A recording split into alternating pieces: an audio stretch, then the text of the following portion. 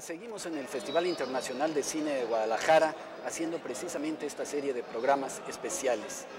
Ahora conoceremos quién es y qué es el fogonero del delirio. Esto es corto y queda. Ya comenzamos.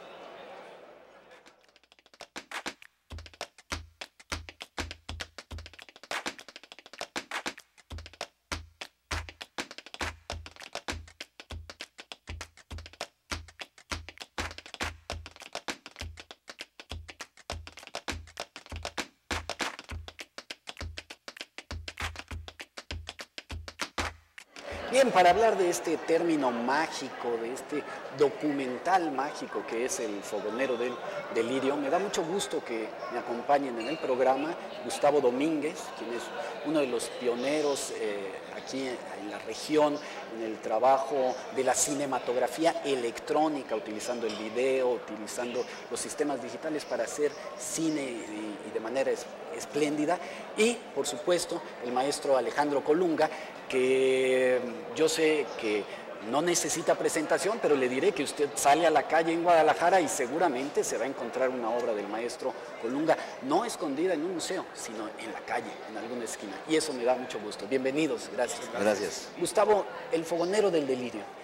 ¿Quién es el fogonero del delirio? Pues yo le puse el título a- al documental y el fogonero, el fogonero del delirio desde luego es una interpretación después de haber conocido al maestro Colunga personalmente de cerca. Obviamente lo conozco de lejos desde hace mucho tiempo, a través de su obra, a través pues de, de ese, de su personalidad.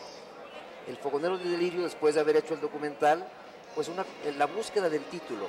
Y me pareció después de, bueno, la relación que tiene él con el fuego, él mismo cómo se autodescribe, eh, la presencia de ciertos elementos que me, llevaron a eso, me llevaron a, ese título, que a la vez también busca ser, pues, en sí misma una frase que se convierte en una metáfora. Es el fogonero, es el, el que incendia las mentes delirantes con la imaginación, con la creatividad, y es por ahí el fogonero del delirio. Maestro Colunga, ¿el delirio es la fuente de, de inspiración, de creatividad de su obra? Ah, pienso que sí, eh, que sí está el título muy acertado. Qué bueno que no le puso el plomero del delirio.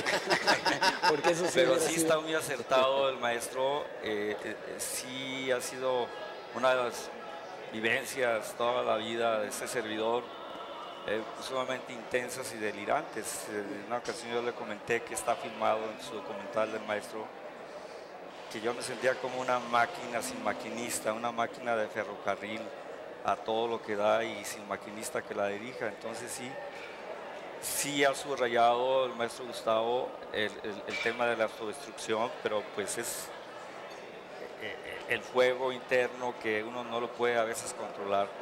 Creo que está muy acertado el título del, del documental del maestro Gustavo. ¿Y qué nos puede decir de esta experiencia de de pronto ser personaje de una película, personaje para alguien más? Bueno, es ate- ate- aterrador. Aterrador. Pánico escénico, le dio. El pánico escénico, aparte del pánico escénico, eh, para este servidor es muy difícil eh, tener cámaras enfrente. Y, y sobre todo el hecho de, de ser dirigido cuando toda una vida eh, eh, he dirigido mal o bien en mi vida eh, creativa o, o personal. Cuando hay una persona que dice o sonríe o haz esto. Es, es sumamente difícil, pero el maestro con su talento creo que me tranquilizó y, supo ponerme en el sitio que él requería para este documental. Y, y yo me tuve que salir fuera y verme como un personaje, yo una persona X, para poder eh, eh, contemplar ¿no? esa imagen. Quiero decir que la maquillista hizo un muy buen trabajo con las arrugas y con, y con las bolsas y las ojeras. Eh, eh, eh, sí fue una experiencia muy rica trabajar para el maestro Domínguez. Gustavo, cuéntanos un poco de, de- de cómo, digamos, concebiste tú el- este proyecto. Bueno, la- una vez, e- esto es a raíz de un concurso ¿no? para hacer un documental sobre el maestro Colunga. Eh, el consejo, la comisión de cinematografía, pues convocaron, ya estaba en específico hacer ese documental. Convocaron a directores y por concurso, por presentación de proyectos, me fue, fui beneficiado, digamos, para hacer ese documental. Entonces, una vez hice una propuesta y desde la propuesta que hice, creo que se refleja muchísimo en el resultado final. O sea que sí, fue, sí, hubo una consecuencia, ¿no? Eh, empiezo con la investigación, con los amigos cercanos del maestro, con el propio maestro. Tuvimos varias sesiones de trabajo, platicando, haciendo entrevistas y sobre todo lo que lo más interesante digamos del trabajo de realizador pues es hacer esa interpretación, ¿verdad? Entonces, si vamos a hacer recreaciones de la infancia del maestro, bueno, ¿cómo hacemos esas recreaciones? ¿Dónde hacemos esas recreaciones? La búsqueda de las locaciones, casting, tenemos muchísimos personajes. Podemos ver al maestro de niño, de año y medio, de siete años, de adolescente y de adulto como ahora lo es.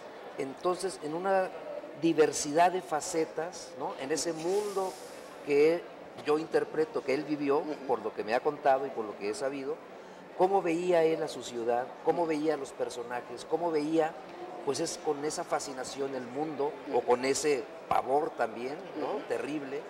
Y pues es, así se generó la idea, ¿no? Este, fuimos escribiendo las ideas, fuimos pues llevándolas a cabo, ¿no? Entonces tenemos su obra, tenemos pasajes de su vida, tenemos este, testimonios del mismo, de amigos. Y tenemos su vida en el momento también. Así es. Maestro Colunga, eh, cuéntenos un poco de, estas, eh, de, lo, que platicaba Gustavo, este, estos primeros encuentros. Eh, ¿Qué recuerda usted cuando conoció a, Gustavo, cuando se hablaba del proyecto? ¿Qué, imaginaba usted que, que iba a venir? Sinceramente traté de no imaginar nada. Como le comenté en la anterior pregunta, fue aterrador cuando... Fue nada más... Cuando se me invitó a, hacer este documental y con alguna participación. Y, realmente eh, traté de poner la mente en blanco. Porque ya por sí mi, mi profesión, mi oficio es muy difícil. Claro y, la, el, pues, el reto que se me estaba poniendo enfrente de, de sacar todo aquello de un cofre de la niñez, de juguetes y tesoros y, volver otra vez a, confrontar algunos momentos duros de esas experiencias o felices, eh, fue realmente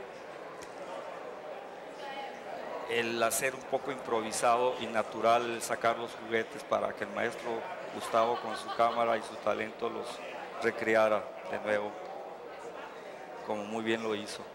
Muy bien, vamos a hacer una pausa eh, y ahora volvemos.